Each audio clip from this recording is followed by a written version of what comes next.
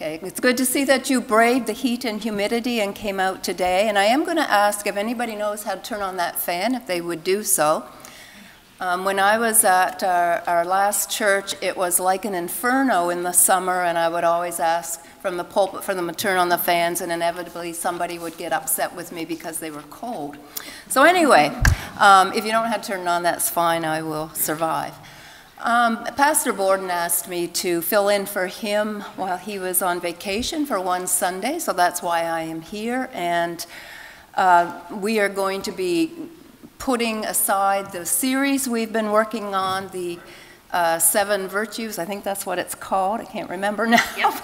anyway, I assume Erica's going to look after that next week. So, anyway, today we're going to look at Psalm 73, and I want to read that for you now. So, it will, I think it will be on the screen. If not, you can look in your Bibles or on your devices and uh, follow along as I read. So let's hear the word of the Lord. Psalm 73, beginning at verse 1. Thank you for turning on the fan. Surely God is good to Israel, to those who are pure in heart. But as for me, my feet had almost slipped. I had nearly lost my foothold. For I envied the arrogant when I saw the prosperity of the wicked. They have no struggles, their bodies are healthy and strong. They are free from common human burdens. They are not plagued by human ills. Therefore, pride is their necklace. They clothe themselves with violence. From their callous hearts comes iniquity. Their evil imaginations have no limits. They scoff and speak with malice. With arrogance, they threaten oppression. Their mouths lay claim to heaven, and their tongues take possession of the earth. Therefore, their people turn to them and drink up waters in abundance. They say, How would God know? Does the Most High know anything? This is what the wicked are like. Always free of care, they go on amassing wealth. Surely in vain I have kept my heart pure and have washed my hands in innocence. All day long I have been afflicted, and every morning brings new punishments. If I had spoken out like that, I would have betrayed your children. When I tried to understand all this, it troubled me deeply till I entered the sanctuary of God. Then I understood their final destiny. Surely you place them on slippery ground. You cast them down to ruin. How suddenly they are destroyed, completely swept away by terrors. They are like a dream when one awakes. When you arise, Lord, you will despise them as fantasies. When my heart was grieved and my spirit embittered, I was senseless and ignorant. I was a brute beast before you. Yet I am always with you. You hold me by my right hand. You guide me with your counsel, and afterward will take me into glory. Whom have I in heaven but you, and earth has nothing I desire besides you. My flesh and my heart may fail, but God is the strength of my heart and my portion forever. Those who are far from you will perish. You will destroy all who are unfaithful to you. But as for me, it is good to be near God. I have made the sovereign Lord my refuge. I will tell of all your deeds. Well, back in the early 2000s, a Christian children's choir from Africa toured Atlantic Canada singing in many churches. You may, you may have seen them, and unfortunately, I can't remember what they were called. But what stands out for me from that time was not the performance of the choir, although it was excellent, but it was a comment that one of the choir leaders made to our lead pastor. He said, I cannot understand how followers of Jesus can keep their faith when they live in such an ungodly culture as this. And almost 20 years lately, I think we have slid down the slippery slope even more so than that. The culture in which we live here in Canada influences us, influences us greatly as believers. We are constantly bombarded by information from many different sources that, for the most part, is contrary to the truth of God's Word. And we are constantly and continually encountering people, encountering people who have a, a very different view on, on life and how to live life than we do as followers of Jesus. Yet Jesus told his disciples that we are to be in the world, but not of the world, meaning that we will live in the world as disciples, such as it is, but not to fashion our lives after the world in which we live. We now have the life of Christ, and that is how we are to define the way we live. So, how do we, as children of God, live in a culture that is not only non Christian, but is very quickly becoming anti Christian? Well, much of it has to do with perspective, which is what we're going to look at today. The psalmist Asaph, who, who is credited with writing Psalm 73, is struggling with ungodliness in his culture, and he's having a crisis of faith and he is teetering on the edge of the precipice, about ready to turn away from God. But before we dig into Asaph and see what he is doing and saying, I just want to say that Psalm 73 is all about perspective. And perspective most simply means point of view.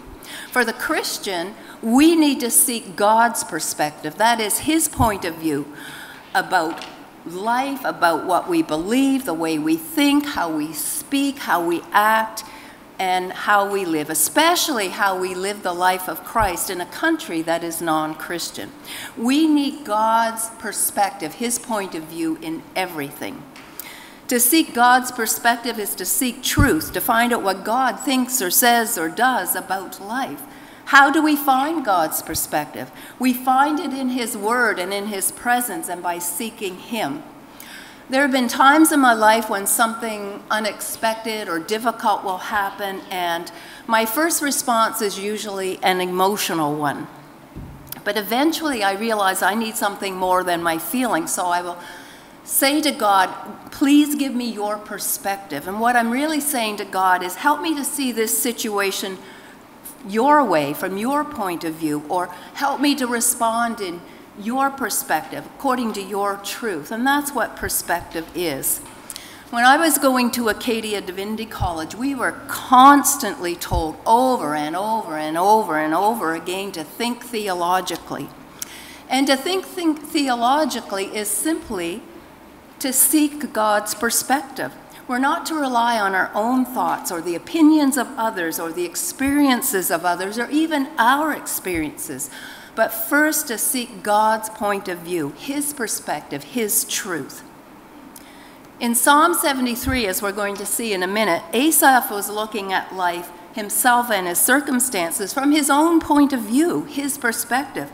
He got so focused on himself and his problems that he lost sight of his relationship with the Lord and the blessings and promises of God. When we lose our focus and, our, and allow our eyes to glance away from God and His truth, our perspective becomes distorted. Everything is seen through the lens of our eyes and our lives only. We forget what God says about our circumstances, what He says about our relationship with Him and about the world around us. Our perspective cannot be trusted. We need God's point of view. So, having said all that, let's look into Psalm 73. And the, the psalm begins with Asaph uttering these words Surely God is good to Israel, to those who are pure in heart. We sense here that Asaph is trying to convince himself rather than others that God is good. We're sensing a, a seed of doubt here. Is this, it's as if he is saying, Surely God is good to Israel, to those who are pure in heart, isn't he? Asaph has always believed that, yes, indeed, God is good to his people who are pure in heart. And pure in heart simply means people who have put their faith in God. But something has happened to Asaph to cause him to seriously reconsider his relationship with God. He says, But as for me, my feet almost slipped. I had nearly lost my foothold. He's talking here about his relationship with God. Why is he thinking about turning away from God? Well, he tells us the reason is this For I envied the arrogant when I saw the prosperity of the wicked. Asaph has been observing those who don't know God and seeing how they live. And he doesn't like it. He describes the wicked, or the better word I like is ungodly, as being arrogant, proud, violent, callous, evil, scoffers, malicious, oppressive, and mockers of God. Yet it appears to Asaph that they are healthy, they're strong, they have no burdens or struggles, they live carefree lives, and to top it all off, they just keep getting richer and richer and wealthier and wealthier in their already prosperous lives. And these are the people who mock God and reject God, and yet they're living the kind of life that only most people could dream about. And Asaph is seriously upset by this. He has a relationship with God. He puts his trust in Him. He's been faithful and obedient. He's desired to glorify and honor Him. And what does he have to show for it? And this is what he says Surely in vain I have kept my heart pure and have washed my hands in innocence. All day long I have been afflicted, and every morning brings new punishments. The ungodly are thumbing their nose at God, and they have a wonderful life to show for it. Asaph has been faithful to God, and all he has to show for it is suffering and misery. This is why Asaph is on the brink of turning away from God. If a life without God brings you all these blessings, what's the point in staying faithful and suffering for your obedience? So Asaph has allowed either his suffering or the supposed carefree, prosperous life of the ungodly, or both, to mess up his perspective. But thankfully, he doesn't stay there. And thankfully, he doesn't continue in his crisis of faith. He resolves it. We read it. We read uh, in verses 16 and 17. When I tried to understand all this, it troubled me deeply until I entered the sanctuary of God, and then I understood their final destiny. When Asaph finally seeks God, he gets in the presence of God. Either he gets in God's presence in the temple or the tabernacle, sorry, or, the, or through prayer and his perspective changes and everything becomes clear. Why? Because now he sees things from God's point of view, from God's perspective, in accordance with God's truth. And that's how we who are faithful to God are to live, by his perspective. When Asaph's perspective veered away from God's perspective, it became distorted and he looked at himself and his circumstances and the world around him through his eyes only instead of seeing life through God's perspective. And I want to look at three specific things that Asaph, Asaph sorry, uh, saw incorrectly when he was living by his own perspective instead of God's. And the first one is Asaph's understanding of suffering. It was skewed because his perspective was distorted. Asaph had a view of suffering that I think that sometimes we as Christians have today. He thought if he was faithful to God, if he checked off all the boxes, did everything he was supposed to do, then he wouldn't suffer. God would bless him and give him a great life with no suffering. And I sometimes wonder if that's not our viewpoint as well. As long as I go to church, read my Bible, pray, look at my daily devotions, give, then everything will be tickety boo and nothing bad will happen to me. He, uh, Asaph, and I think sometimes us think that if we're faithful, God would bless us. And that's what Asaph was thinking. But when he saw the un, unfaithful living a good and apparently blessed life, it messed with his theology, so to speak. And of course, this was the same problem Job had. Job had been faithful to God, but he suffered greatly. And it's true that God had promised Israel many blessings if they remained faithful to him and his covenant. And if you, if you look at Deuteronomy 28, you'll see a long list of blessings. But the problem is, though, that Israel didn't remain faithful. They turned away from God and paid him lip service while worshiping idols. So, what is the proper or godly perspective on suffering? Well, it is this that God did not promise us a pain free, trouble free life when we follow Him in, his, in this lifetime. That's the one to come. And Jesus told His disciples that if you're living in this world, you will have trouble. And He also said, The servant is not greater than the master. If Christ suffered, then we too will suffer. And actually, the New Testament tells us that our suffering glorifies Jesus, and we identify with Jesus in our suffering. So God did not say that Asaph would not suffer, nor did he say that we would not suffer. What he did say, though, is that he would never leave us nor forsake us in our suffering or anything else. And God always has a purpose in the suffering he allows us to experience. He will help us when we're suffering. He will be there with us. He'll be our strength and our guide and our wisdom as we suffer. And we know that it's in suffering that God does his greatest transformative work in us. It's through suffering that Christ like character is more deeply ingrained in us. Our faith grows and, and we grow more spiritually mature. And oftentimes, God will use us to minister to somebody else who suffers with the same type of suffering that we have been going through. So, the second thing that uh, was off with Asaph's perspective was his view of the wicked or the ungodly.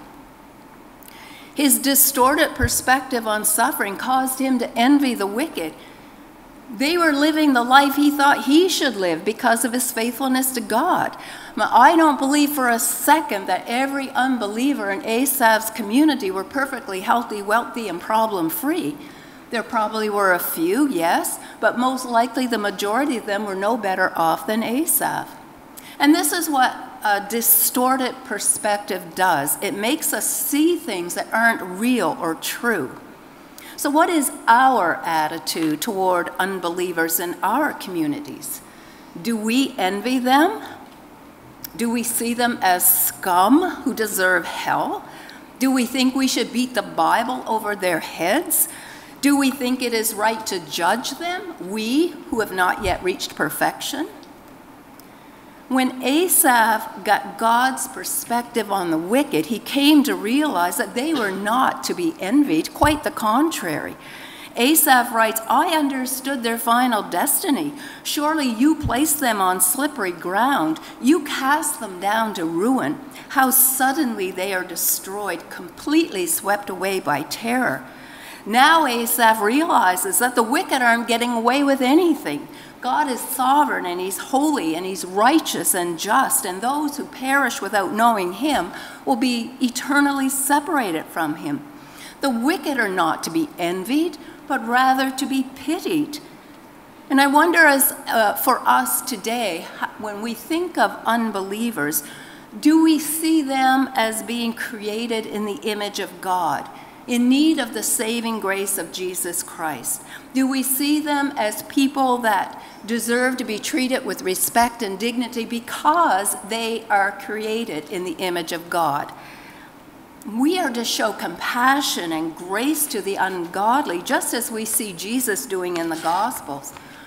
We are not to live and act as they do, but rather love them with the love of Christ. We're to be a witness to them. We're to reflect that light of God's image to them and be a beacon of hope to them. And I know from just what life is like lately that that is not an easy thing to do as followers of Jesus, sometimes we just want to go and smack them up the side of the head and say, smarten up. But that isn't very Christ like. But we are to be Christ to these people, and the only way we're going to be able to do that is through the presence and the power of the Holy Spirit doing it through us. And it's interesting that when Asaph began to come to his senses, he was concerned for the community of faith and how his words would affect them. He said, If I had spoken out like that, I would have betrayed your children. A distorted perspective can affect not only ourselves, but also our community of faith, fellow believers, and also the unbelievers in our communities. Are they hearing the truth from us, or are they just hearing our opinion? Or are they just hearing a distorted version of the truth? Asaph ends the psalm by declaring he will tell of all the deeds of God. And here again, it's uh, this idea of being a witness to who God truly is and what he's like and what his purposes are.